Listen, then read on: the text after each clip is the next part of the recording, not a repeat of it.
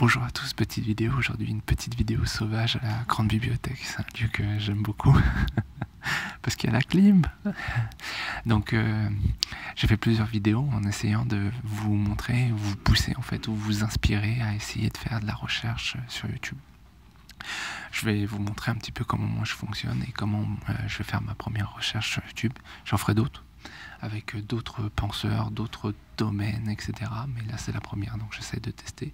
Et je vais vous donner un petit peu les bases de mon fonctionnement. Donc, euh, c'est assez simple. Je vais choisir un phénomène, quelque chose qui m'intéresse sur YouTube. Là, ce qui m'intéresse sur YouTube, c'est le fait que le contenu des YouTubeurs à un certain niveau finit par se ressembler. C'est assez souvent euh, le même format, les mêmes types, le même style.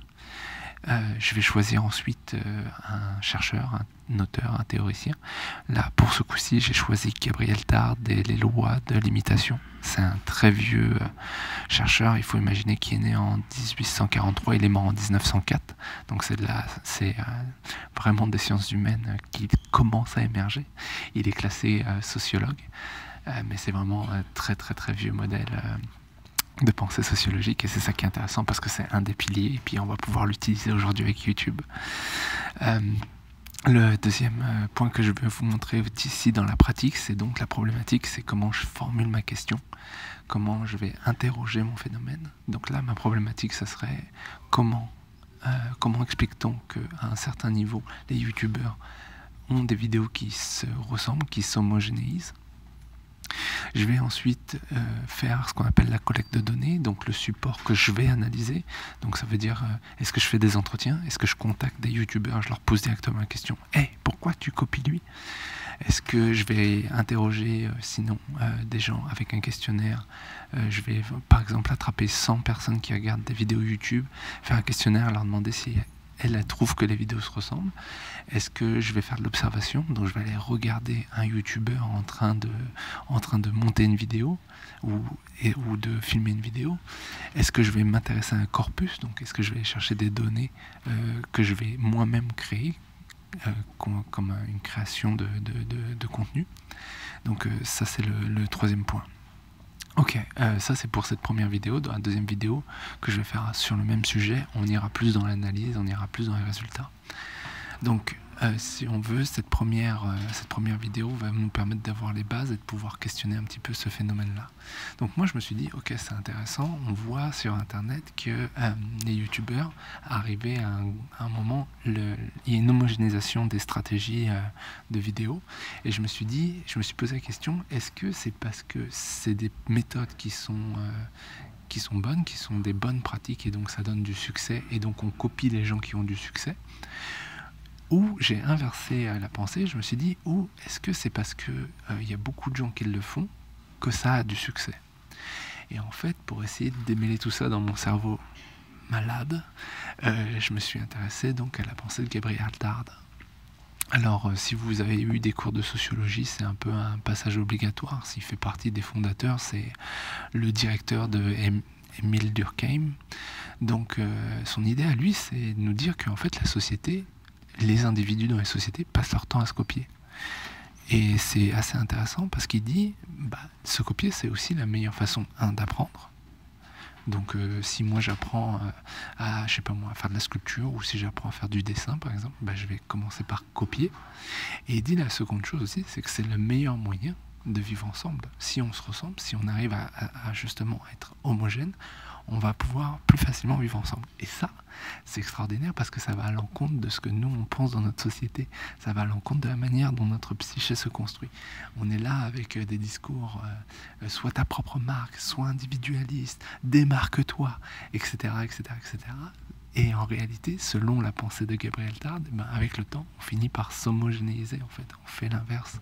On n'est pas en train de devenir des individus extraordinaires, des flocons de neige uniques et merveilleux, mais au contraire, on est en train de devenir de plus en plus euh, similaires. Et donc, c'est vraiment fort comme pensée. C'est assez euh, contre-intuitif parce que ce que dit Tard, c'est qu'en fait, plus on est jeune dans la société, et plus on est différent, plus on est hétérogène. Et plus on vieillit, donc plus on devient euh, homogène, et donc on passe de l'hétéro, l'hétérogénéité à l'homogénéité. Et c'est comme pour lui, il essaie d'expliquer ça en faisant des métaphores et des analogies avec le vivant, et il dit, bah voilà, les humains, c'est des cellules connectées les unes avec les autres. Lui, il appelle ça les nomades. Il y a comme un champ magnétique, il y a comme une énergie qui passe à travers tous les humains, qui les pousse en fait à se copier. Parce que pour euh, pour la société, ce qui est le plus efficace, c'est ce qui va être copié, c'est ce qui va être répliqué. Les bons comportements, les meilleurs comportements pour la société, attention, ça ne veut pas dire bien ou mal, mais les meilleurs comportements pour la société, pour permettre à la société de continuer à se développer en tant qu'entité, en tant que corps social, seront imités par les gens. Et euh, ce qu'explique euh, Gabriel Tard, c'est que oui, on se copie, mais on le fait aussi de manière intelligente. On va copier les comportements qu'on juge les plus pertinents. Il y a aussi un truc qui est intéressant, c'est que euh, euh, on peut toujours se poser la question, oui, mais si on se copie tout le temps, bah, il n'y a, pas de, génie, il n'y a pas de création, il n'y a rien de nouveau.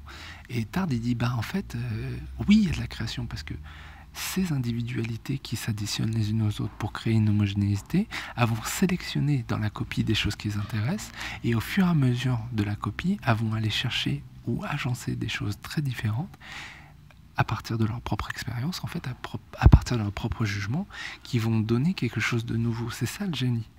Donc euh, pour lui, toute la société est construite sur l'imitation, en fait. Et donc ça crée une société plus cohérente, qui est capable de durer plus longtemps et qui facilite les interactions sociales. Moi, je vais prendre cette idée-là, que je trouve pertinente, et je vais l'insérer je vais essayer d'analyser YouTube de la même manière, à partir de la grille sociologique que m'a donnée Gabriel Tard. Donc, mon objet de recherche, YouTube est le phénomène d'homogénéisation. Donc, en fait, si on veut, le, concept, c'est l'imitation.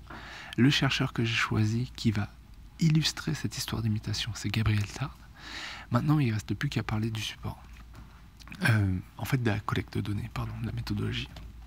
Pour ceux que ça intéresse, j'ai trouvé ces livres-là qui sont super c'est Armand Collin, c'est les méthodes, c'est l'enquête et ses méthodes. Il existe l'entretien, il existe le questionnaire, il existe l'observation, il en existe plein, le récit de vie, il y en a plein, plein, plein. Ça, ça va vous permettre, si vous voulez aller chercher les données, de pouvoir avoir un cadre de référence facile. C'est pas un gros gros livre, c'est facile à placer, puis euh, c'est facilement, euh, c'est très très bien fait en fait. C'est très très bien fait. Je vous conseille à tout le monde de les lire. Euh, moi, je vais pas interroger les gens parce que si je commence à aller voir les youtubeurs en leur disant pourquoi t'as copié lui? Eh ben, il y a peu de chances qu'on me réponde. Donc ce que je vais faire, c'est que je vais créer un corpus audiovisuel. C'est une notion que j'ai été chercher en fait dans un livre qui s'appelle Analyse des contenus audiovisuels. Donc euh, comme YouTube c'est un média et que je me demandais comment faire l'analyse du contenu d'un média, j'ai été chercher un livre en fait qui fait pareil avec euh, la télévision en fait. C'est la base, il sert surtout à, la télévision et je me suis dit je vais me servir de ce qui se passe euh, dans la télévision pour le transposer dans YouTube pour avoir une base d'analyse. Donc ça ça va être euh, ce que je vais analyser en fait. C'est je vais aller sélectionner des vidéos, je vais en faire un certain nombre, je vais les décrire et ensuite je vais les analyser pour bien les comprendre et pour pouvoir essayer d'expliquer cet effet d'imitation. Est-ce qu'il est vrai ou non? Est-ce que, est-ce que je me trompe pas? Est-ce que euh, YouTube, elle, imite aussi euh, quelque chose d'autre? Et tout ça, c'est pour essayer d'expliquer que, en fait, la science, c'est des boucles de rétroaction. Donc je pars avec une piste, je pars avec un, instinct, je pars avec une idée et ensuite je vais essayer de la confirmer. Et pour pouvoir la confirmer, je vais aller chercher des gens qui ont réfléchi à ces questions-là, qui sont nos pères en fait, en science qu'on appelle ça nos pères. Euh, donc là pour moi, mon père c'est Gabriel Tard. J'ai choisi qu'un seul euh, chercheur, mais je peux en choisir d'autres, je peux en ajouter, je peux rajouter d'autres concepts pour l'instant, on n'en est pas là, je vais le faire dans d'autres vidéos. Mais euh, pour cette première vidéo-là, c'est poser les bases de mon enquête et d'essayer de comprendre justement ce phénomène que je retrouve et que j'ai l'impression qui dirige un petit peu YouTube à des très hauts niveaux. Euh, donc euh, voilà un peu l'idée. On commence euh, cette recherche et puis on va voir ce que ça donne. L'important c'est justement d'être capable d'avoir, comme je le disais un peu avant, les boucles de rétroaction, reformuler sa problématique, essayer de recentrer ce que j'ai compris sur Gabriel Tard et comment l'utiliser. etc., etc. Et puis modifier ce qui fonctionne pas pour qu'à la fin ça soit correct. on a toujours, en fait, on a une mauvaise impression des recherches scientifiques souvent parce qu'on tombe tout de suite sur l'article où on tombe tout de suite sur le livre, et l'article ou le livre, ils ont été faits, ils ont été peaufinés, ils ont été retravaillés des centaines et des centaines de fois. Donc c'est pour ça que ça paraît euh, tellement parfait en fait, ça paraît tellement logique. AB plus BC égale euh, assez. Donc euh, on a cette impression-là quand on, quand on lit un article scientifique ou un livre scientifique, mais ça a été peaufiné des centaines de fois. Il ne faut pas avoir peur d'un bout de rétraction. Au contraire, il faut y aller, il faut se tromper, il faut se réajuster. C'est comme ça qu'on apprend et c'est comme ça qu'on a des bonnes idées. C'est quand on est capable de dire, ok, ma problématique est peut-être pas complètement bonne, je vais y aller et je vais l'affiner au fur et à mesure. Et je vais recommencer. Et l'important aussi, c'est de le faire avec vos amis, avec euh, vos directeurs, avec votre famille, avec les gens que vous, trouvez importants pour voir comment se réajuster au fur et à mesure. Donc, euh, je vous remercie d'avoir vu cette vidéo. J'espère que ça vous a plu. Euh, partagez, likez, et puis à la prochaine.